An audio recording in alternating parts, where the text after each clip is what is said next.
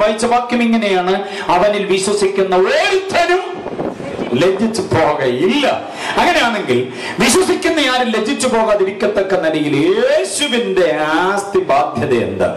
യേശുവിന്റെ ആധികാരികത എന്താ? എല്ലാവരും കൂടെ അങ്ങ് വിശ്വസിച്ചാൽ ലജ്ജിച്ചു പോകത്തില്ലെന്ന് പറയുമ്പോൾ യേശുവിന്റെ മഹത്വം എന്താ? യേശുവിന്റെ സവിശേഷത എന്താ? എന്ന വസ്തുത നമ്മൾ അറിയണം. ഹാലലൂയ അറിയാൻ താല്പര്യമാണോ? അവരിൽ വിശ്വസിക്കുന്ന ഒരുത്തരും ലജ്ജിച്ചു പോകത്തില്ലെന്ന് പറയുമ്പോൾ എന്തോ മഹത്വം യേശുവിലുണ്ടല്ലോ അതെന്താണെന്ന് നമ്മൾ അറിയണം. ആദ്യമായിട്ട് ഞാൻ ഇങ്ങനെ പറയാം. യേശുവിൽ എല്ലാവരും വിശ്വസിച്ചാൽ ലജ്ജിച്ചു പോകത്തില്ലെന്ന് പറയുന്നതിന്റെ ആധികാരികത എന്താ? ആധാരം എന്താ? എന്ന് നമ്മൾ അന്വേഷിക്കുമ്പോൾ യേശുവിനെ കുറിച്ച് പഠിക്കുമ്പോൾ രണ്ട് പ്രധാന ചിന്തകൾ പഠിക്കണം എല്ലാവരും. രണ്ട് പ്രധാന വിഷയങ്ങൾ പഠിക്കണം. ക്രിസ്തു പരിജ്ഞാനത്തിൽ രണ്ട് പ്രധാന കാര്യങ്ങളുണ്ട്.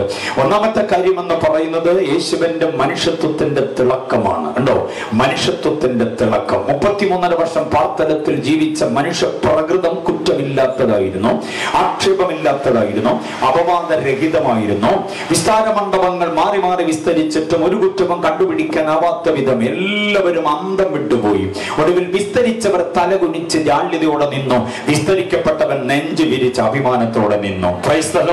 റോമൻ പ്രൊക്രൈറ്റർ ആയിരുന്ന പിലാത്തോസിന്റെ പ്രട്ടോറിയം. ഇതുപോലെ കെട്ടി ഉയർത്തപ്പെട്ട ഒരു പ്ലാറ്റ്ഫോം അവിടെ യേശുവിനെ നിർത്തി പരസ്യമായി വിസ്തരിക്കുമ്പോൾ ഒടുവിൽ വിസ്തരിച്ച പീലാത്തോസ് ലജ്ജിതനായി പോയി. അവൻ പറയുന്നു ഞാൻ ഇവല്ലൊരു കുറ്റവും കാണുന്നില്ല. യേശുവിന്റെ മനുഷ്യത്വത്തിന്റെ തിളക്കമാണത്.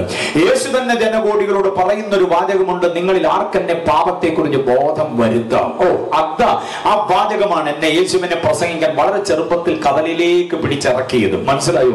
നിങ്ങളിൽ ആർക്കെന്നെ പാപത്തെക്കുറിച്ച് ബോധം വരുത്താം? ഒത്തിരി മഹാന്മാരെ കുറിച്ച് പഠിച്ചു ഒത്തിരി അവതാര പുരുഷന്മാരെ കുറിച്ച് പഠിച്ചു ഒത്തിരി യുഗപ്രഭാവന്മാരെ കുറിച്ച് പഠിച്ചു ഒത്തിരി വേദജ്ഞാനികളെ കുറിച്ച് പഠിച്ചു ഒത്തിരി ദാർശനിക പ്രബോധകന്മാരെ ഒക്കെ ആഴത്തിൽ പഠിച്ചിട്ട് അവരാരും പറയാത്തൊരു മഹത്വരമായ വാചകമായി എന്റെ യേശു യോഹന്നാൻ എട്ട് നാൽപ്പത്തി ആറിൽ പറഞ്ഞിരിക്കുന്ന വാക്യം മറക്കല്ലേ കുഞ്ഞുങ്ങളാരും?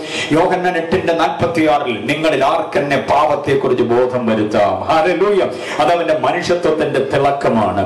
എന്തിന് അല്പം കൂടെ പുറകോട്ടിറങ്ങി ജനിക്കുന്നതിന് മുൻപ് ദൂതൻ വന്ന് പറഞ്ഞൊരു ഒരു അനുഗ്രഹിത പ്രസ്താവനയുണ്ട്.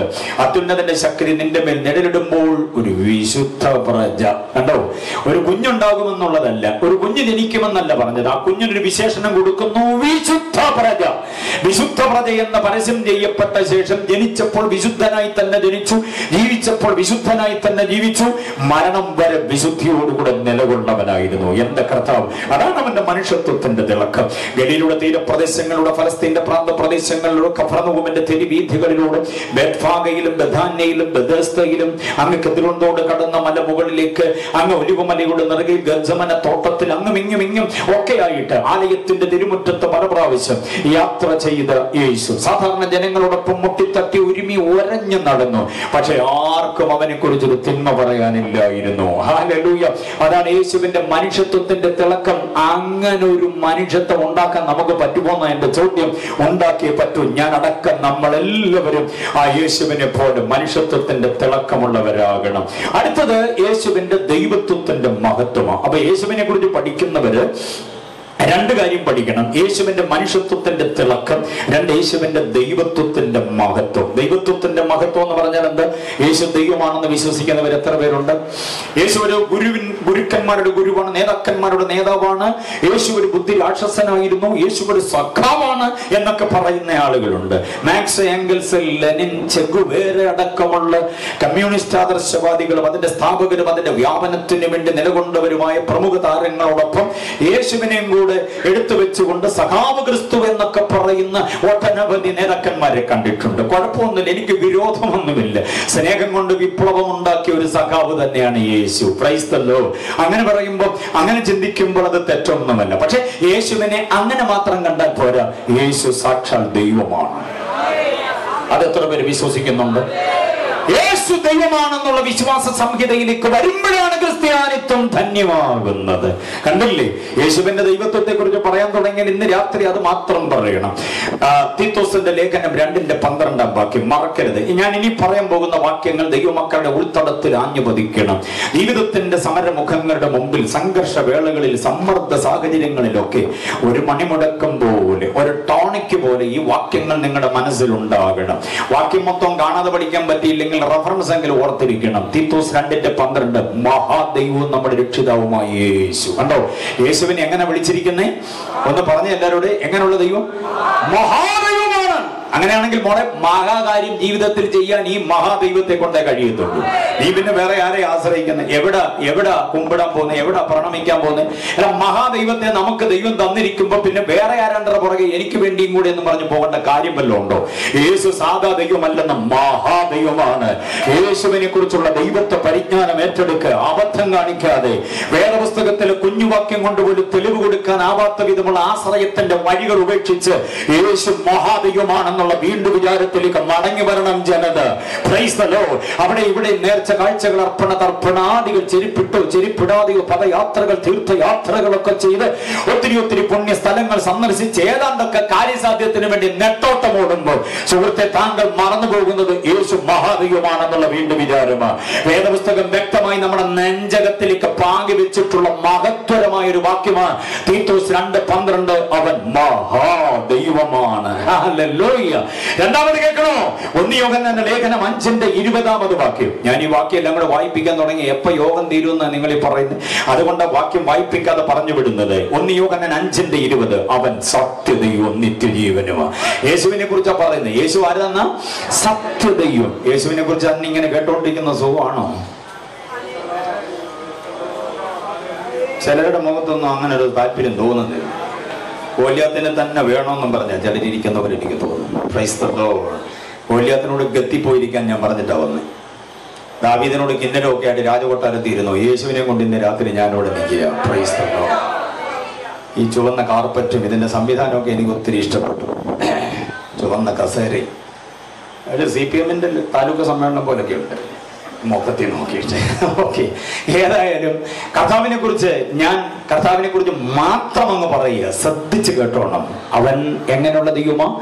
മഹാദൈവമ. രണ്ട് എങ്ങനെയുള്ള ദൈവമ? സത്യദൈവമാണെന്ന് പറഞ്ഞാൽ പറഞ്ഞതെല്ലാം അങ്ങനെ തന്നെ. അതിനകത്ത് മാറ്റമില്ല. ഉണ്ടോ സത്യതയോ? ഉപദേശത്തിൽ മാറ്റമില്ല നിർണയത്തിൽ മാറ്റമില്ല സ്നേഹത്തിന് മാറ്റമില്ല വിശ്വസ്തതയ്ക്ക് മാറ്റമില്ല. കണ്ടോ? നമ്മോടുള്ളതായിരിക്കുന്ന വാഗ്ദത്വങ്ങൾക്ക് മാറ്റമില്ല. ഉയർത്താമെന്ന് പറഞ്ഞാൽ ഉയർത്തുക തന്നെ ചെയ്യും. എന്റെ കുഞ്ഞുങ്ങളെ പൊക്കുമെന്ന് പറഞ്ഞാൽ പൊക്കുക തന്നെ ചെയ്യും. മനസ്സിലായോ? കുടുംബത്തിൽ നിന്ന് പലരും കൂടി ഇറക്കിക്കൊണ്ട് വരുമെന്ന് കർത്താവ് പറഞ്ഞിട്ടുണ്ടെങ്കിൽ ഇറക്കും ആർക്കും പിടിച്ചു വെക്കാൻ പറ്റത്തില്ല. ഈ യോഗമടക്കമുള്ള ചില യോഗങ്ങളിലൂടെ ഇതിന്റെ അനന്തരഫലം എന്താണെന്നറിയാമോ? ആറ്റത്തമുള്ള ചില കുടുംബങ്ങളിൽ നിന്ന് ചിലർ ഇറങ്ങി വരും യേശുവിന്റെ പിന്നാലെ. അതാണ് കർത്താവ് അങ്ങനെ വാഗ്ദത്തം ചെയ്തിട്ടുണ്ടെങ്കിൽ ഇന്ന് രാത്രി കരമുയർത്തിയത് പ്രഖ്യാപനം ചെയ്യ. സത്യമായി പറഞ്ഞതുപോലെ ഹല്ലേലൂയ. അപ്പൊ യേശുവിന്റെ ദൈവത്വം അവൻ സത്യതയുമാണ് ഇനി കേൾക്കണം വെളിപ്പാട് പുസ്തകം ഒന്നിന്റെ എട്ടാമത് വാക്യത്തിൽ പറയുന്നത് എന്താണെന്നറിയാമോ ഇരിക്കുന്നവനും ഇരുന്നവനും വരുന്നവനുമായി സർവശക്തിയുള്ള ദൈവമായി കർത്താവ്. ഓ നമ്മുടെ കർത്താവ് ആരാ? എന്നിട്ട് സ്വതന്ത്രം പറഞ്ഞില്ലല്ലോ സർവശക്തി എന്ന് കേട്ടിട്ട്. കർത്താവ് എങ്ങനെയുള്ള ദൈവമാ? സർവശക്തനായവൻ ശക്തനായവൻ എന്ന് പറയരുത്. സർവശക്തിയുള്ള ദൈവം. ഓ അതാണ് എബ്രായ പ്രയോഗം എന്ന് പറഞ്ഞാൽ തുല്യം പറയാനില്ലാത്ത. ആ ശക്തി പോലെ ഈ ശക്തി എന്ന് പറയാൻ എല്ലായിടത്തും ഉണ്ട്. നമ്മൾ ഉണ്ടാക്കുന്ന ഏതെങ്കിലുമൊക്കെ യന്ത്രമുണ്ടല്ലോ. അത് പത്ത് കുതിര നൂറ് കുതിര ആയിരം കുതിര ശക്തി എന്നൊക്കെ പറഞ്ഞ് നമുക്കതിനെ തുലനപ്പെടുത്താൻ പറ്റും. പക്ഷെ ഒന്നിനോട് തുലനപ്പെടുത്താൻ കഴിയാത്ത ഒന്ന് അതാണ് അതാണ് നമ്മുടെ കർത്താവ്. സർവശക്തിയുള്ളവൻ അസാധ്യതകളെ സാധ്യമാക്കാൻ കഴിയുന്നവൻ അങ്ങനെ ഒരു കർത്താവ് നമുക്കുള്ളത്. യേശുവിന്റെ ഈ ദൈവത്വത്തിന്റെ മഹത്വം അറിയാതെ ആരാണ്ടർ പുറകെ പോയിട്ട് ആശ്രയിപ്പാൻ പോകുന്നത് തന്നെ എന്നെ പഞ്ഞം പിടിച്ച് ഇടപെടാന്നറിയാമോ? സർവശക്തനായ ഒരുവൻ നമുക്ക് സ്വന്തമായിട്ടുണ്ട്. എന്റെ വീണ്ടെടുപ്പുകാരൻ സർവശക്തന്. എൺപത്തൊമ്പതാമത്തെ വയസ്സിൽ അമ്മച്ചിയുടെ ഗർഭപാത്രത്തിന്റെ നിർജീവത്വം മാറ്റി. തൊണ്ണൂറ്റൊമ്പതാമത്തെ വയസ്സിൽ അപ്പച്ചന്റെ ശരീരത്തിലേക്ക് പുത്രോത്പാദന ശേഷി വർദ്ധിപ്പിച്ച്. ഒരാണ്ട് കഴിയുമ്പോൾ ഞാനിതിൽ വരുമ്പോൾ നീ ഒരു കുഞ്ഞിനെ ദത്തെടുക്കുമെന്നല്ല അണച്ചുകൊള്ളുമെന്ന് പറഞ്ഞ വാക്ക് നിവർത്തിയാക്കി.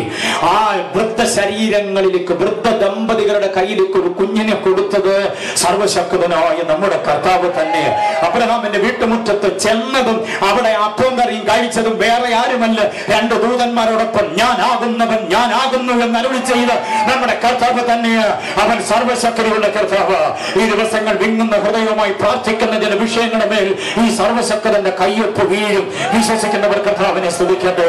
നമ്മുടെ കർത്താവ്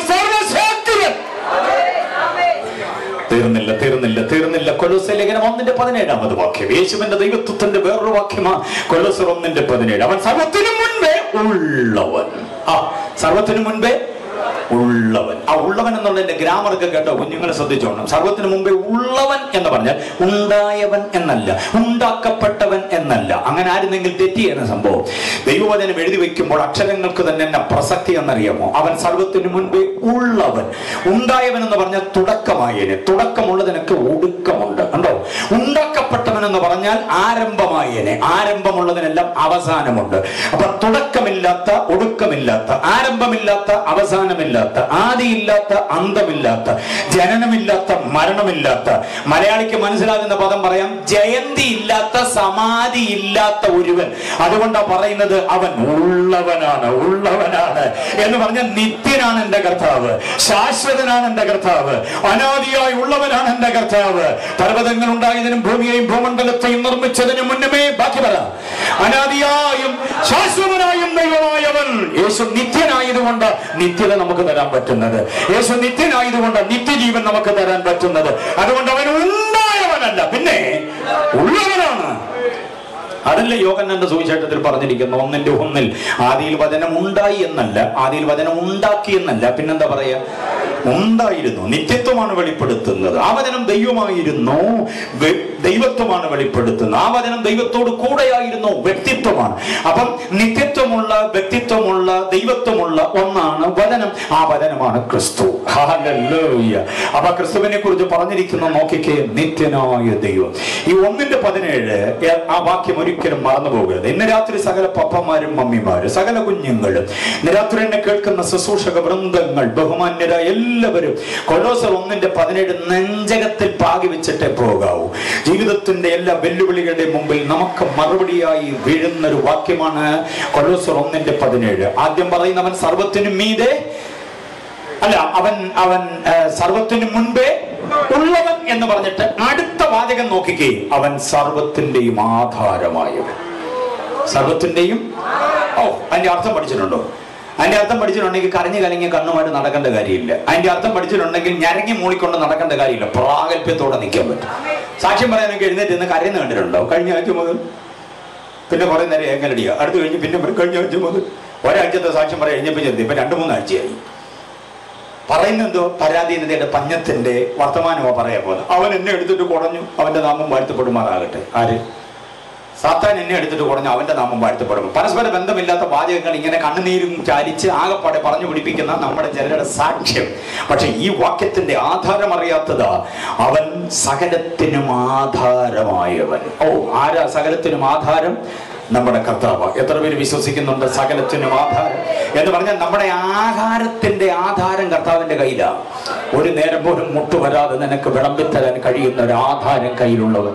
ആഹാരത്തിന്റെ ആധാരം മാത്രമാണോ വെച്ചാ ആരോഗ്യത്തിന്റെ ആധാരം കർത്താവിന്റെ കയ്യിലാണ് ഡോക്ടർമാരുടെ കയ്യിലൊന്നുമല്ല. ആസ്ട്രോ മെഡിസിറ്റിയുടെ കയ്യിൽ നിംസിന്റെയോ കിംസിന്റെയോ മിംസിന്റെയോ ഒന്നും കയ്യിലല്ല. ആ അമൃതായുടെ കയ്യിലോ ലേക്ഷോറിന്റെ കയ്യിലോ ഒന്നുമല്ല നമ്മുടെ ആധാരം. നമ്മുടെ ആരോഗ്യത്തിന്റെ ആധാരം കർത്താവിന്റെ കയ്യിലാണ്.